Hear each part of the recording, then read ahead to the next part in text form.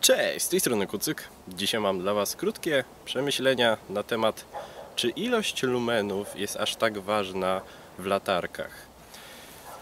Jeśli chodzi o oświetlanie i zasięg, mam przy sobie dwie latarki. To jest Nebo Slide, a to TrueNight TN4A. Nebo ma moc 250 lumenów, z kolei TrueNight w maksymalnym trybie 1050. Zobaczcie jak to wygląda. Po prawej widzicie strumień światła Nebo, po lewej TrueNighta. Jak widzicie, jeżeli by wyciąć z TrueNighta tylko centralny promień i porównać go z Nebo, no to jasność jest podobna.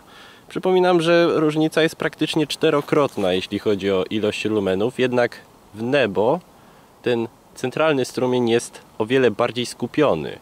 W Trunajcie te 1050 lumenów jest trochę rozproszony na większym dystansie. Także jeśli chodzi o zasięg obydwu tych latarek, jest on naprawdę bardzo podobny, z tym, że True Night oświetla większy obszar.